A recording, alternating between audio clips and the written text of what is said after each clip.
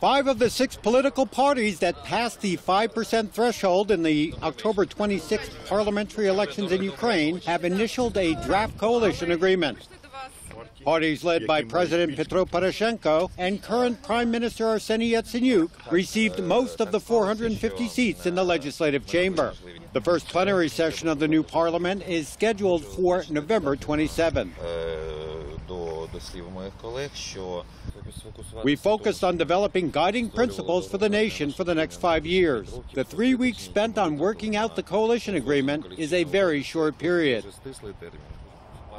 Members of the coalition have pledged to investigate the killings of protesters on Kiev's Independence Square on February 20th.